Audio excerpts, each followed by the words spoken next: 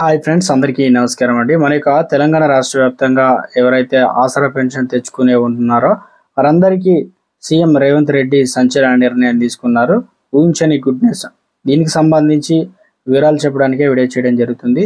ముందుగా వీడియోస్ ఉన్న ప్రతి ఒక్కరు కూడా లైక్ చేయండి. చాలా మంది వీడియోస్ ఉన్నారు కానీ సబ్స్క్రైబ్ చేసుకోవడం మర్చిపోతున్నారండి. దయచేసి వీడియో కింద సబ్స్క్రైబ్ బటన్ ఉంటుంది దానిపైన నొక్కండి. సబ్స్క్రైబ్ అవుతారు గంట వస్తుంది గంట పైన నొక్కి ఆల్ నోటిఫికేషన్ ఆన్ చేసుకోండి. ఇలా చేయడం వల్ల నేను చేసి ప్రతి ఒక్క వీడియో కూడా మిస్ అవ్వకుండా మీ ఫోన్లో నోటిఫికేషన్ రూపంలో వస్తుందండి. తెలిసిన వారికి బంధుమిత్రులందరికీ వీడియోను షేర్ చేయండి. ఫ్రెండ్స్ ఇక వివరాలు కనుక వచ్చినట్లయితే మన యొక్క తెలంగాణ రాష్ట్ర వ్యాప్తంగా సీఎం రేవంత్ రెడ్డి మరో సంచలన నిర్ణయం అయితే తీసుకోవడం జరిగిందనమాట తెలంగాణలో ఇప్పటికే దాదాపు చాలా మంది అనర్హులకు సంబంధించి ఆసరా పెన్షన్లు అయితే తీసుకుంటున్నారు. అంటే ఎందుకు తీసుకుంటున్నారు? ఏంది అనేది ఒకసారి చూసుకుందామండి.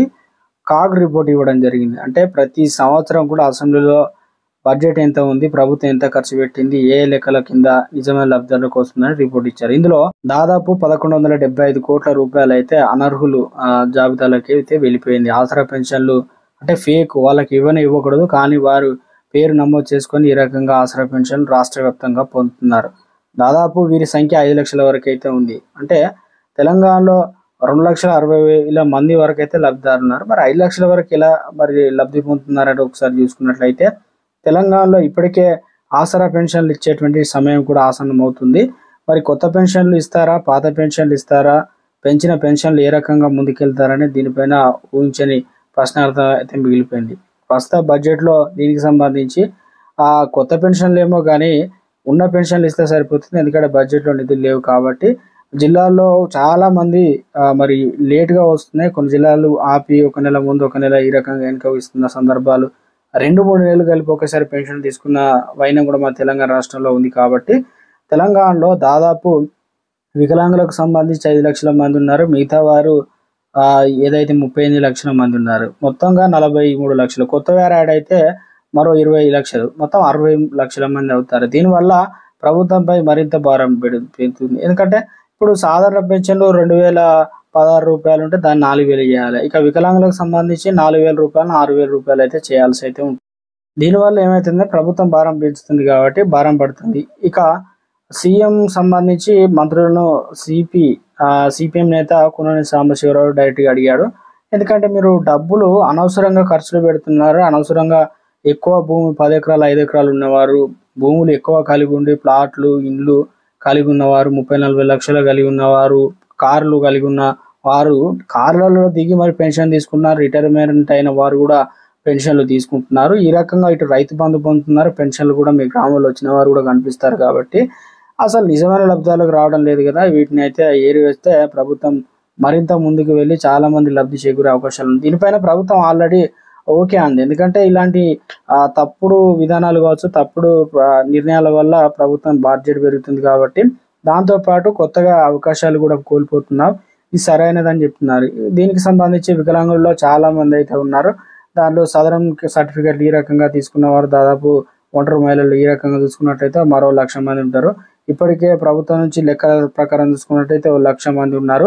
ఇక దాంతో పాటు సాధారణ పెన్షన్లు తీసుకున్నట్లయితే ఒక రెండు లక్షలు. మొత్తం ఐదు లక్షల వరకు అయితే మరి ఆసరా పెన్షన్లు తొలగించే అవకాశాలు అయితే ఉంది. కానీ అందరూ ఉన్న సమస్యని డౌట్ ఏంటంటే మరి ఏ నెల నుంచి తొలగిస్తారు? అసలు ఎవరు గ్రౌండ్ రిపోర్ట్ చేయలేదు కదా? మరి ఎవరు ఇంటికి కూడా వచ్చి అడగలేదు కదా? మరి నిజంగా ఆ డైరెక్ట్ ఆన్లైన్లో కట్ చేస్తారా? ఇక వచ్చేది ఏమన్నా పోతాయా అని చెప్పేసి కంగారు పడిన అవసరం లేదు. ఎందుకంటే ఈ నెల నుంచి తీసేసే అవకాశాలు కూడా లేదు.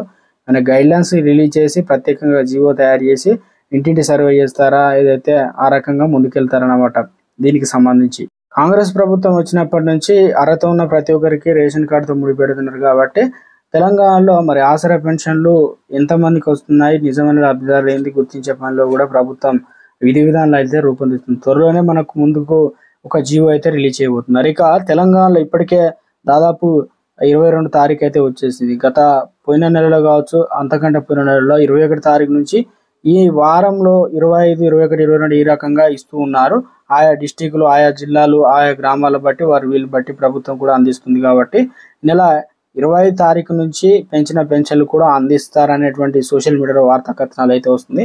చూడాలి మరి నిధులే లేవు అంటున్నాను పెంచిన పెన్షన్లు ఎట్లా ఇస్తారు ఇవ్వరు కదా. కానీ ఒకవేళ అది కూడా ఇస్తే బెటరే ఏమైనా ఇన్ఫర్మేషన్ వచ్చినట్టే తెలియజేస్తాను.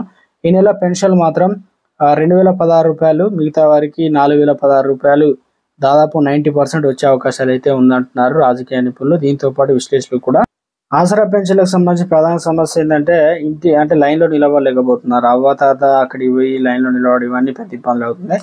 ఆ గ్రామంలో చాలా ఇబ్బందులు అయితే ఎదుర్కొంటున్నారు. పట్టణాల్లో కూడా చాలా ఎండాకాలం కాబట్టి వచ్చేది.